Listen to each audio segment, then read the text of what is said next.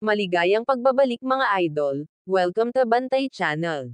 Campbell Hatton vs. Jimil Pacquiao. Pag-usapan natin yan.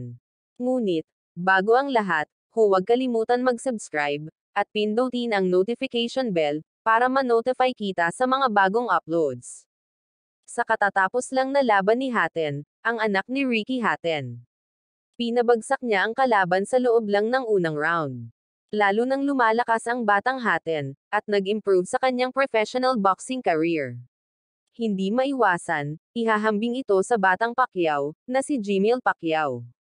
Si Jimil ay nasa amateur boxing pa ngayon, dahil late na ang batang Pacquiao pumasok sa larangan ng boxing, at kailangan pa niyang mag-improve at magpersige sa kanyang mga ginagawa sa training.